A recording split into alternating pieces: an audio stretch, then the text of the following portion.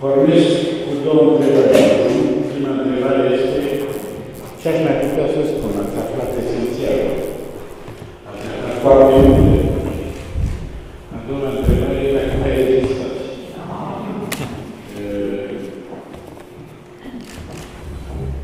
M-am gândit că e vorba de foarte mulți tineri ca să înțelegem figura Părintelui Strima, ar trebui să ne facem totuși sau să încercăm să ne facem o idee despre uh, momentul când el s-a uh, lansat uh, în, în Alianța Românească, la sfârșitul anilor 40, începutul anilor 50, încă lumea nu mai amintește cum arătau lucrurile atunci, și despre anumit tip uman care exista încă atunci, care a supraviețuit mari schimbări și despre care de asemenea știm foarte puțin.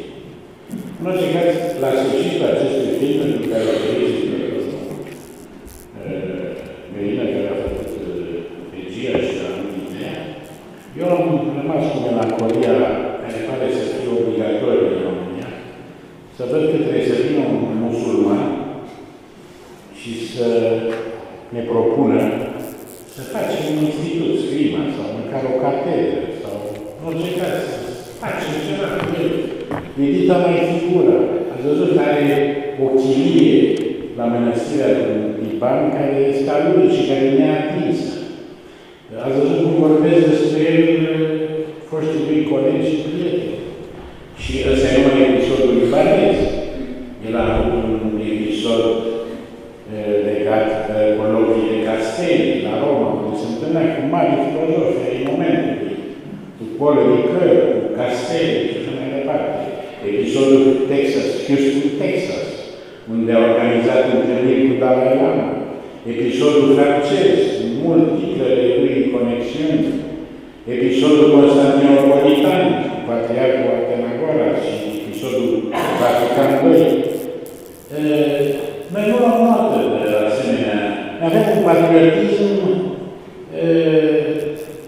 învelit, să spun asta, care de mult are un patriotism neștiut, de chef.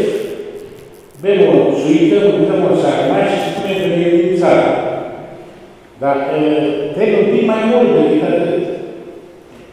Și m-aș aștepta ca totuși, la un moment dat, să vedem figura Părintelui Sfima asumată și asimilată, făcută să funcționeze în comunitatea din care a pornit.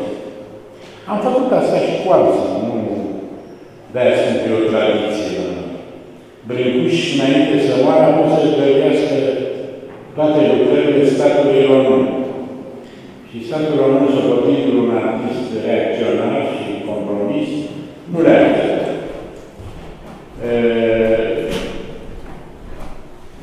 Micelia de Cioran UNESCO au trebuit să facă cariere în străinătate. Și așa mai departe. Iar aia care rămân, ori sunt băgați în pușcărie, cum s-a întâmplat în anii 50, ori sunt demolați sistematic de tot felul de uh, falși concurenți care sunt nemulțumiți că scena nu e integral rămâna lor. Acum, revin la momentul anilor 40-50.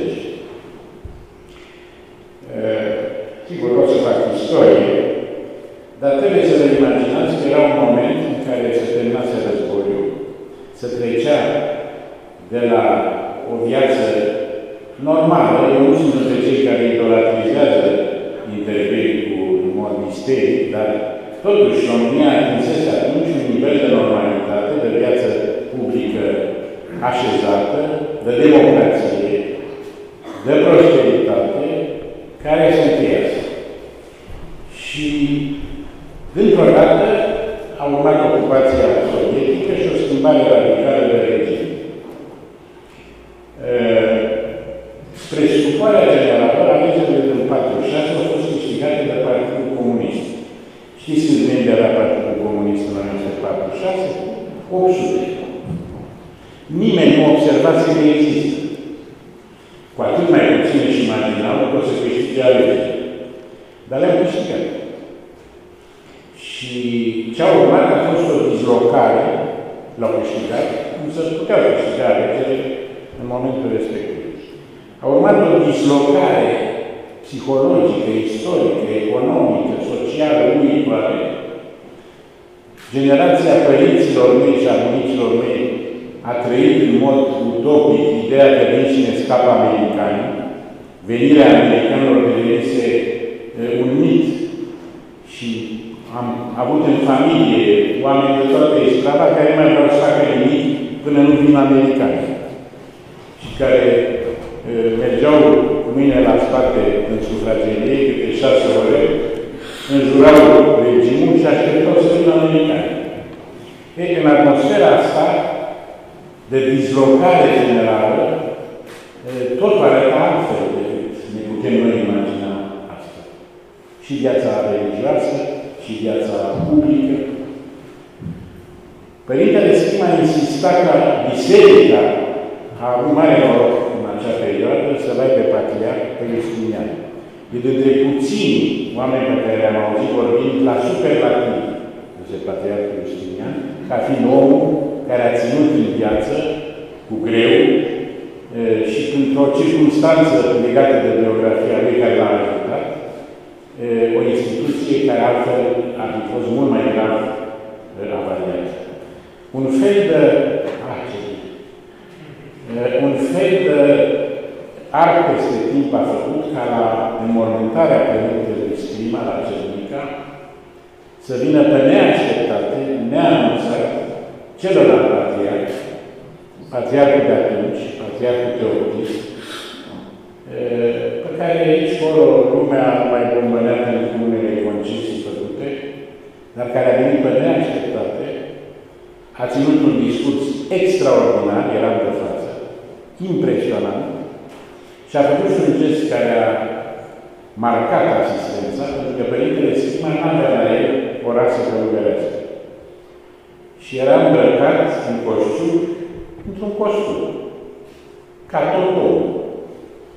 E bine, prefericitul patriarh Teoptist a luat un vesmânt călugăresc și l-a pus peste trupul Părintelui Scrima, redându-l astfel cinului monahal de care aparținea.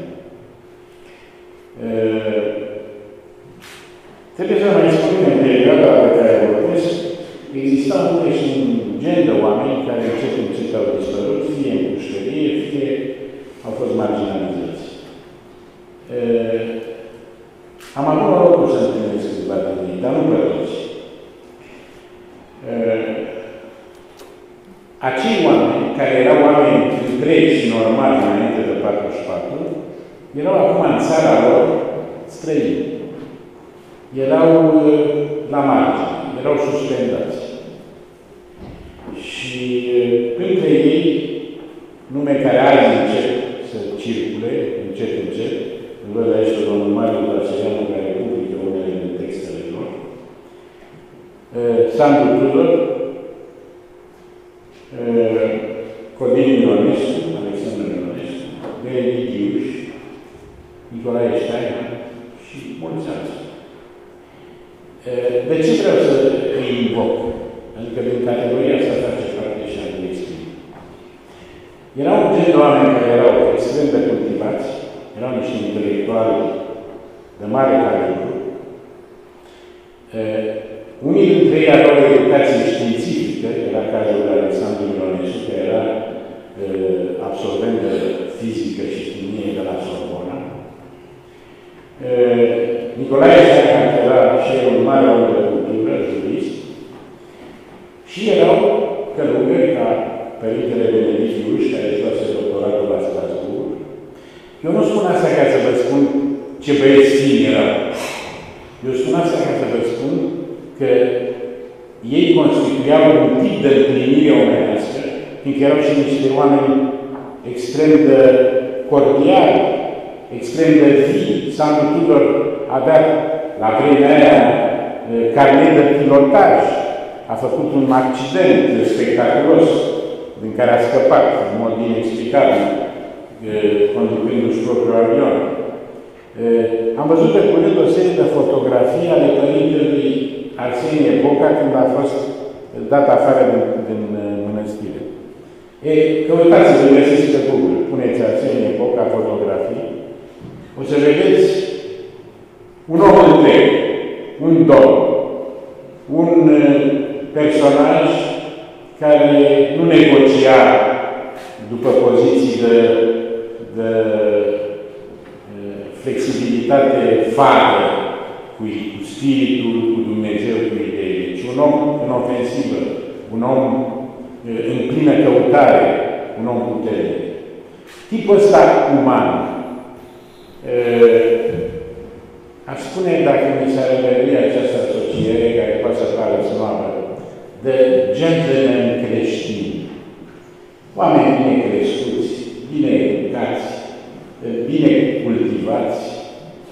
Eu nu spun că dacă nu ești cultivat și n-ai crescut în case somptuoase, nu poți să fii un mare teolog sau un mare călugăr.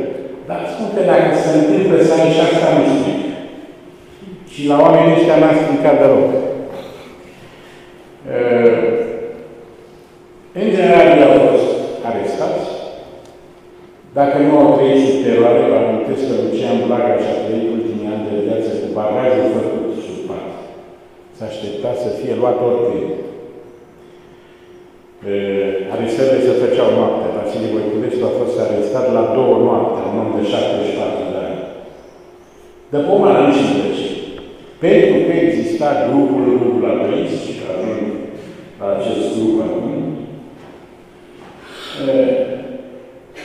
era un grup care se constituise prietenește între intelectuali, teologi, care se întâlneau la Mănăstirea Antii. Exista, să spune Părintele Schima, o întâlnire fondatoare organizată de Sandu Tudor la Cernăuți, când era acolo mitropolitiții Medrea, când a venit și noi ca tânăr filozof care a citit o comunicare intitulată Patos și Patmos. Până grupul ăsta s-a amplificat, s-a refăcut, s-a instalat la Antin și s-a întâlnit și toată vorba. Și țineau conferințe. Nu era nici subiectiv. Dar în 58, când s-au făcut arestări, s-au făcut arestări de ce? Pentru cei încă netrăiți pe vremea. Gheorghiu Dej a ținut să convingă armatele sovietice să plece din țară. Să nu mai fie ocupați de armatele sovietice. Era o formă de patriotism moldav. Și a reușit să-l convingă pe Khrushchev să plece cu armatele, dar ca să-i dovedească că se descurcă fără el foarte bine, că nu trebuie să-și facă griji în legătură cu conformitatea regimului, a făcut un ban uriaș de arestări. A fost un fel de a arăta că putem domina situația. În acest bar de arestări, au fost mai multe procese, a fost și lucru aprins. Acuzații și versiune, complot, împotriva lui, cam astea erau pe vremea aia acuzațiile care duceau spontan la pușcărie. Acum, pe vremea orice grup era suspect. Au fost cazuri când cei care se întâlneau să joace de aici, asta înseamnă patru aici, fiindcă se întâlneau regulat, au devenit suspecți. Și au fost mulți arestați pentru complot. Împotriva ordinii de stat. De-aia pe mine mă scoate de gândit când aud că arestările contra grupului, grupului Rubu Aprins s-au făcut. De ce? Pentru că Părintele Schima, care apucase să plece din țară în 56, a scris un articol în Franța despre acest lucru. Și securitatea, când a văzut acel articol, fiindcă securitatea citea frecvent publicațiile teologice franțuzești de epocă, s-a hotărât să treacă la față. Ei nu știau că oamenii ăștia se întâlnesc la ani de zile la Antin, ei nu știau că cum să ia, când am văzut și o mărturie, că scrima le-a dat și adrese. Și din cauza că au avut norocul să aibă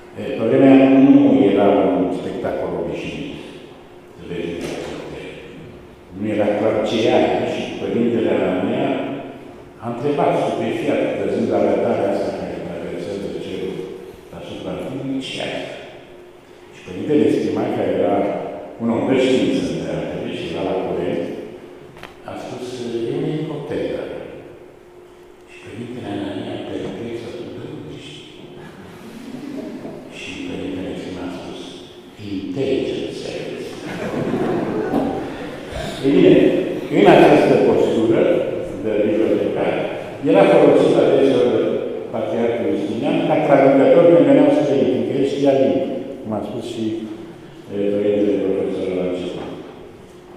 Și a venit, la un moment dat, președintele Indiei, era Krishnan. Și a urmat un dialog și el trebuia să traducă din engleză în română și viceversa. Numai că la un moment dat, la Krishnan nu și-a amintea cuvântul englez pe care vrea să spună. Și atunci Părintele Stima i-a spus, spuneți-mi versiunea sanscrită. Dar dacă Krishna mi-a spus, a făcut traducerea, dar a fost uimit, constat de un tânăr de la bibliotecă, poate știa atât de bine sanscrită, încât poate să, să o folosească. Și imediat i-a oferit o bursă.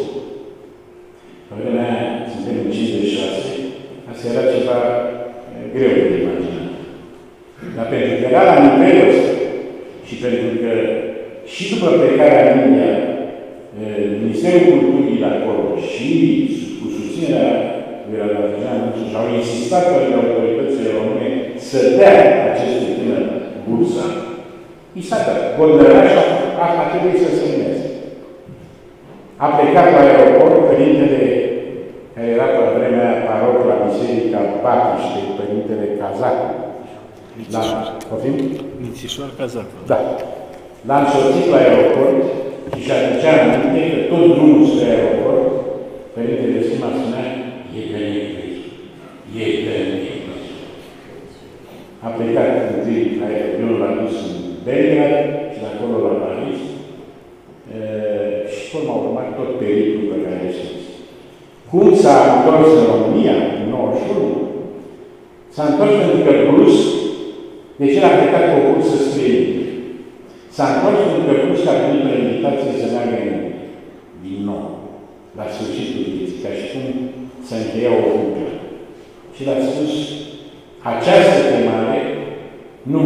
l-a.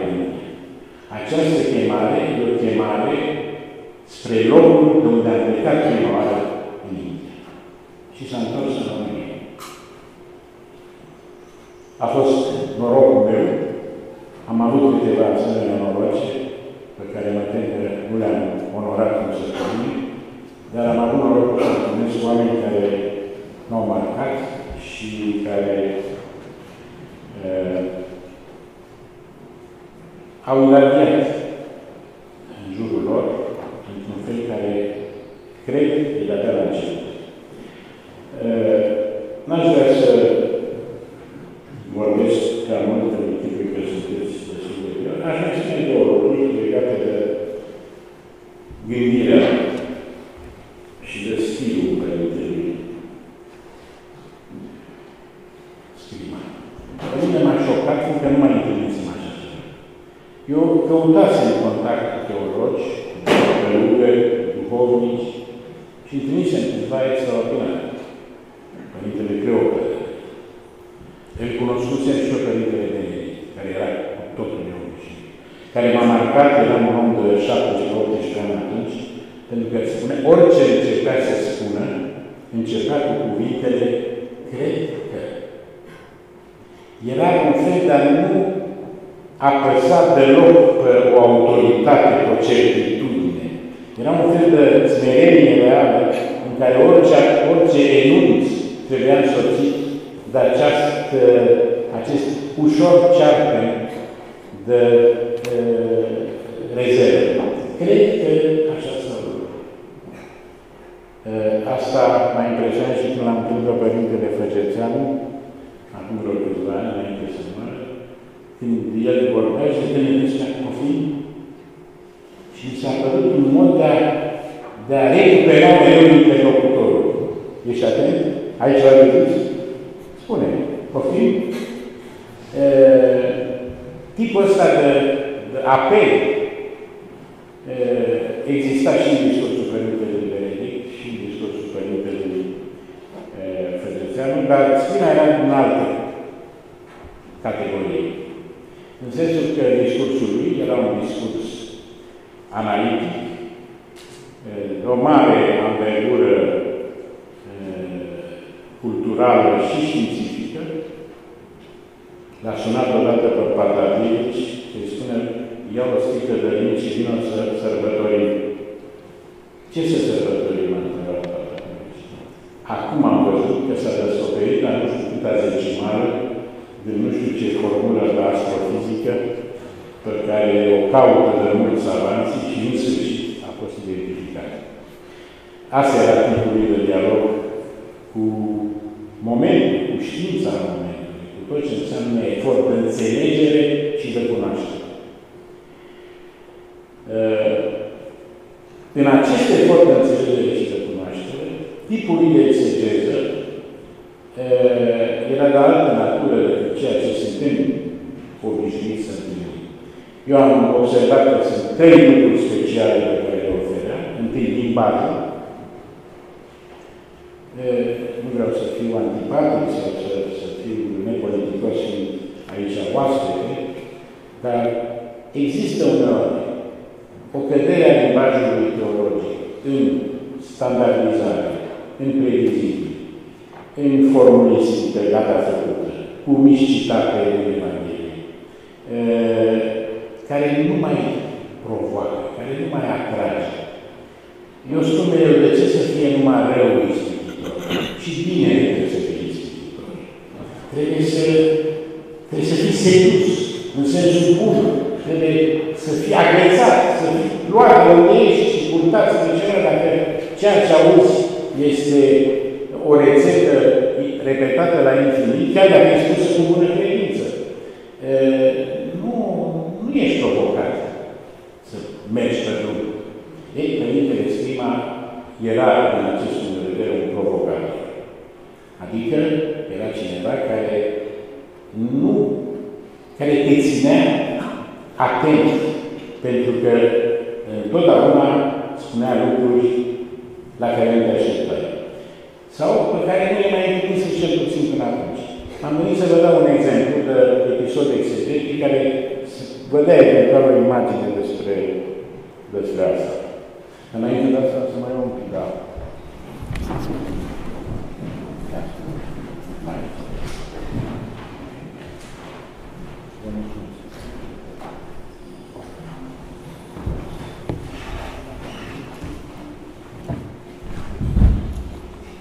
Știți foarte bine că un loc suprainterpretat, hiperexegetizat, este Euharistia. Să mâncăm trupul și sângele Mântuitorului. Adică cum? Sunt interpretări, le știu. N-are rost acum să, în acest loc, să fac eu pe cel care rezumă exegeza tradițională. Am dat însă păreri despre exegeza Părintele Sfânt, care mi-a spus ceva ce, la care nu mă gândisem și care a pus pentru mine toată discuția despre Eucaristie într-un alt tip de context. O reproduc rapid.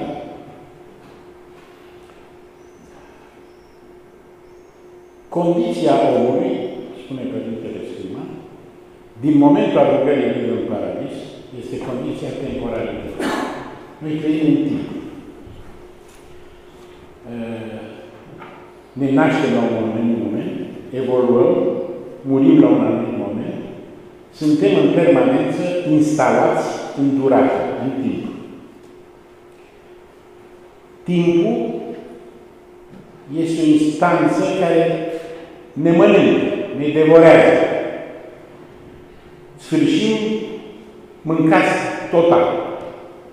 Această tema timpului care devorează și care apare și în Shakespeare, apropo, Devouring Time, apare și în mitologia greacă, Saturn, care e cineva care își mănâncă copiii, apare și în India, dar nu vrem să cădem în erezii colaterale, zeița Kali, care este o mâncătoare, ideea e că timpul este un agent devorator. Te mănâncă. Te mănâncă și ca să reziști acțiunii lui devoratoare, trebuie să mănânci la rândul tău. Nu poți să supraviețuiești în timp dacă nu mănânci, dacă nu respiri, dacă nu bei. Trebuie să ai acces ca să reziști în temporalitate la aceste trei tipuri de substanțe. Aer, lichid și materie solidă. Spunând lucrurile rapid, duh, vin și pâine. Ca să supraviețuiești în timp, ca să reziști atacului lui mușcător, trebuie să te ferești în permanență, să mănânci la rândul tău. Ori învierea lui Iisus este e, reușita lui Dumnezeu de a trece trupul din obiect de mâncare într-un obiect care mănâncă moartea. El e cel care începe să mănânce, dar nu în sensul în care mănâncă omul, tot omul, ci în sensul că devine incoruptibil și ajunge din cauza asta să devoreze el temporalitatea, să devoreze el moartea. Trupul în viața lui Iisus este un trup care a mâncat moartea și a făcut-o pentru toți. Și când noi mâncăm trupul lui, noi mâncăm trupul lui incoruptibil, adică trupul lui trecut dincolo de viață și de moarte. Eu nu am întâlnit interpretarea asta. Adaug că Părintele Sfima spunea e, aruncarea noastră în temporalitate e, reapare la Heidegger, care spune omul este aruncat în lume. Asta înseamnă să fie aruncat în lume. Să fie aruncat în farfuria timpului, unde el te halește. Și dacă nu capeți sprijinul cuiva care e, din potrivă, agentul devorator al timpului, al lumesului, atunci nu supraviețuiești. În schimb, dacă o faci, ai în față veșnicie. Am dat acest exemplu ca să vă arăt cam cum înțelegea el de pildă să ia un loc clasic, esențial în Evanghelie și să încerce să-l pună în termeni diferiți de exegeza obișnuită, cu legături către cultura veacului, către Heidegger, către lucruri de genul. Și ultimul lucru la care mă mai refer este cel legat de ecumenism. În titlul de astăzi seară e cuvântul dialog prezent și asta e o temă foarte periculoasă. Tema ecumenismului în, în aparență acceptată de toată lumea, dar dacă e să vorbim cinstit, enervează pe toată lumea. Pentru că prin ecumenism, fiecare confesiune înțelege că speră ca ei alții să se trezească. Să înțeleagă în sfârșit cine are adevăr. Și atunci ecumenismul devine fie un fel de coreografie diplomatică, ne întâlnim, ne surâdem, spunem că vrem mult să ne unim, dar de fapt știm că lucrul ăsta nu se va petrece, fie devine un obiect de neliniște. Există biserici care vorbesc sau au vorbit despre ecumenica de o erezie. Există și la noi teologi care au vorbit de erezia ecumenismului, a unirii. Părintele Sima are un foarte frumos text. E adevărat, lucrul e periculos, e adevărat. De ce e periculos? Fiindcă de la un anumit tip de derapare și ecumenic se poate ajunge la sincretism. Haide, mai luăm ceva de la ăștia, ceva de la ăștia, facem o chestie rotundă care îi mulțumește pe toată lumea și de fapt este un fel de propofant, care nu seamănă nimic. Și pentru că nu poți opta că nu ai coerență Doi, poate să ducă la un fel de relativism. Da, Adevărul nu e... Fiecare are dreptatea lui. Hai să nu exagerăm așa, să nu ne socotim noi cu cu pământul și așa mai departe. Deci, într-adevăr, e foarte greu să te miști corect în această idee și trebuie să vă spun că Părintele Schima, din punctul meu de vedere, a reușit să o facă într-un mod extraordinar. Și el povestește și o scenă de la Rugul Aprins, din, de la Mănăstirea Antin, care s-a făcut o conferință, unul din ei a făcut o conferință, în care a citat din eh, Jalaluddin Rumi, un poet persan, eh, apropo, Părintele Schima a recitat în arabă excepțional, eh, și alta a citat pe Ramakrishna. Și un călugăr care s-a întâmplat să fie în sală s-a speriat. Și Candid s-a ridicat și a zis, alo, alo, ce facem aici? Unde suntem aici? Ce facem? Cităm musulmani, cităm hinduși, nu suntem la mănăstire, nu suntem călugări ortodoxi, ce asta? Răspunsul a venit de la Părintele Benedict Diuș, a cărui autoritate și, și, cum să spun, limpezime dogmatică nu poate fi pusă la îndoială. Răspunsul sună așa. Dacă Dumnezeu a spus că la sfârșitul vremilor își va lua la sine toate oile, cum pot eu să le exclud? Cum pot respinge pe cineva care vorbește despre el? Cum pot să-mi ascult? Părintele Benedictiuș. Uh, Părintele Stăniloae are un pasaj despre care nu vorbim destul, în care spune că problema ecumenismului creează un paradox pe care e greu să-l rezolvăm. Avem, pe de-o parte, problema adevărului. Cine îl deține?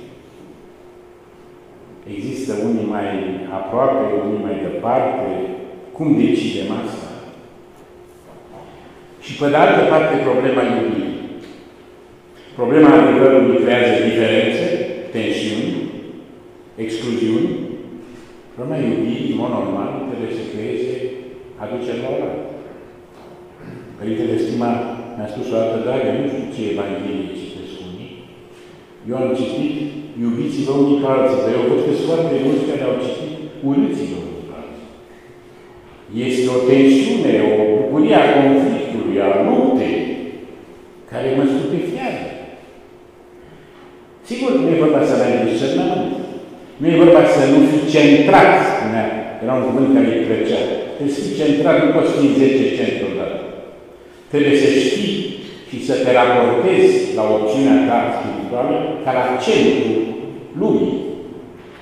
Dar când de la centru poți cuprinde o infinitate de, de alte centri. Poți, fiind centrat, să fii deschis.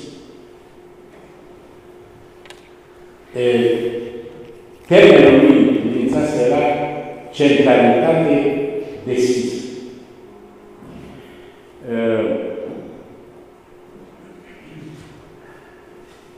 Are un foarte frumos text despre Ierusalim, în care observă, s-a arătat puțin și în film.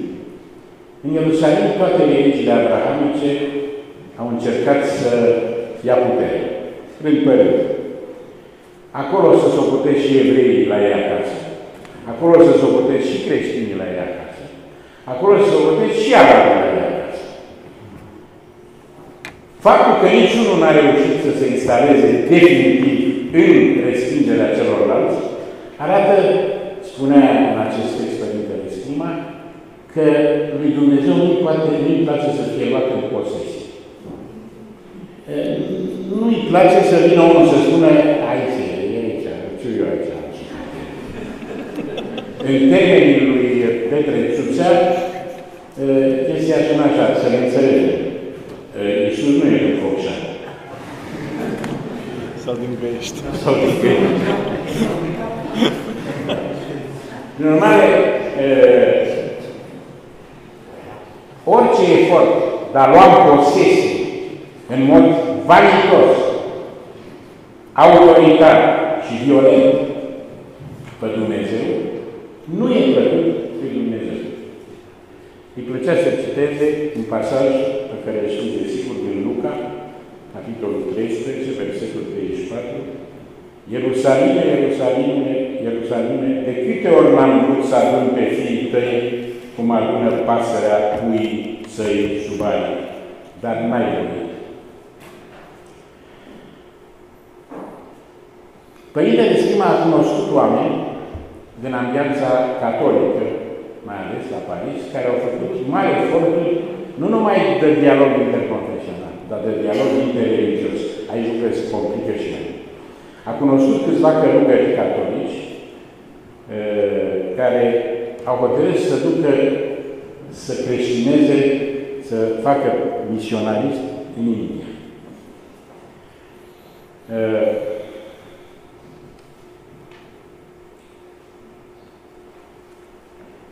Și poveștile lor asumate de Părintele Schima sunt în sine foarte interesante.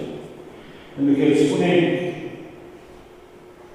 ei, ei s-au dus acolo, dar au înțeles imediat, sau mai puțin imediat, câteva lucruri. Unu, dacă vrei să convertești la creștinism, pe cineva care e în afara spațiului creștin, e bine să fii cu creștinismul Bisericii Unite, de dinainte de schismă. Dacă te duci acolo și încerci să le explici, să începi așa, zici, creștinismul e mai multe feluri. Avem catolicismul, avem ortodoxianul, avem protestantismul, avem problema acum în contemporaneitate. Te încurci. Lor trebuie să te livrezi originea, urmând să-și construiască nebuloasa proprie după asta. Nu să te duci cu nebuloasa ta peste ei și să vezi și convingi. Să încurcă. Eu am dat la un moment dat peste cazul unui, unui călugăr belgian, un franciscan, îl cheamă Placide Franz Tempels, care a publicat în anii 50 o carte despre filozofia Bantu, un trib african. S-a dus tot așa să-i convertească. E bine, după ce a stat cu ei, a făcut o declarație extraordinară. Nu eu i-am convertit pe ei la creștinism. Ei m-au convertit pe mine la creștinism. Eu, după ce am stat cu ei de vorbă, am înțeles mai bine propria mea religie. Am înțeles ce înseamnă eu sunt viața, cum nu înțelesese până atunci. Am înțeles ce înseamnă dinamismul forței pe care îi implică credința și asta numai în contact cu acest trip am înțeles. Mă aduc aminte și de o discuție pe care am avut șansa să o am cu Părintele Cleopa pe Adică l-am întrebat, la judecata, dar apoi ce facem cu milioanele și sutele de milioane care nici nu au auzit de ei? Ăștia se condamnați în plecare, avem predestinare, harul să distribuie arbitrar. N-au cum, sunt nevinovați. Am auzit și cu Părintele Galilă discuție pe tema asta, e inclus în cartea dialogului ăsta. Părintele Cleopa zice, dragă, fiecare nu spunea dragă. Spunea, cum spunea, dragul meu, dragul meu, fiecare e judecat după legea în care a trăit. Noi vom fi judecați după legea Evangheliei. Sinaiul va fi judecat după legea Sinaiului. Și zicea că n-au apucat să intre în nicio lege, vor fi judecați, a spus, după legea zidirii. Ce înseamnă asta?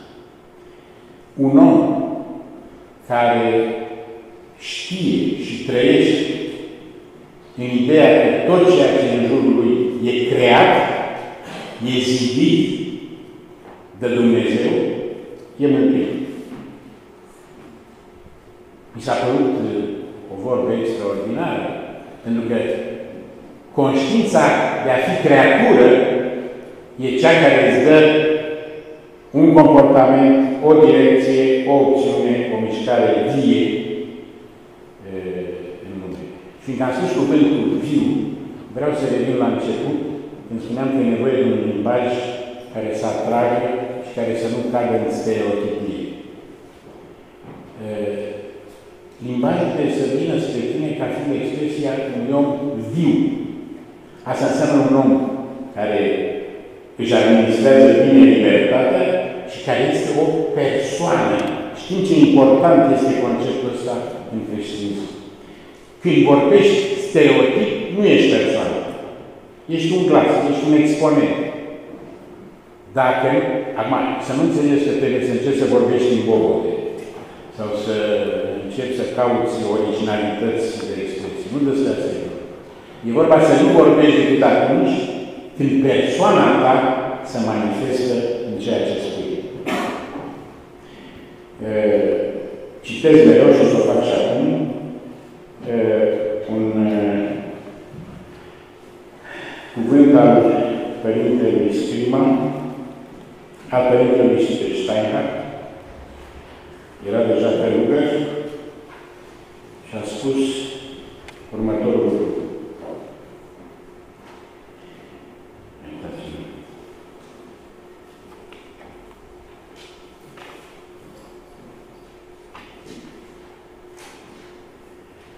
Iată ce spune Părintele Steinhardt. Demonul lozincăriei ecleziastice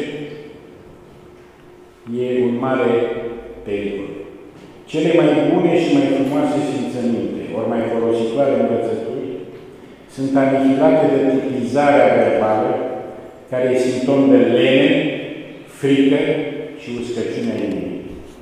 Tot atât de dușmanoase sunt stilul pilduitor, edificator, onctuos, stilul enfatic, stilul grandilocvent sau deprinderea comodă de a reduce predica la repetarea pericopei evanghelice. Textul de unde Lângăi Dobândii a apărut în 92 la Baia Vreau prin aceste vorbe să vă încurajez să asumați un mod viu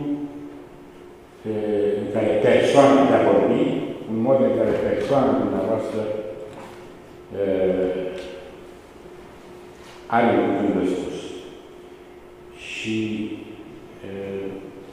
în încheiere, revin și la capitolul cultură, pentru că la noi s-a răstundit nițeluși, am eu impresia, ideea că cultura e mai curând periculoasă. Nu e bine să tot citești. Vorba lui Dumitru Dragomir, odată. Știți pe Dumitru Dragomir? Eu pedec la mâinile alții a spus, dragă, citești azi, citești mâine, citești pâine, te apucă pandemie, frate. E, uneori am impresia că întâlnesc reprezentanța echierului nostru care au cam aceeași gândire despre ideea de citit și de cultură, în ideea că noi suntem cu trăirea, noi nu suntem cu cărți. Sigur că cărțile te poți minti și trăirea te poate minti.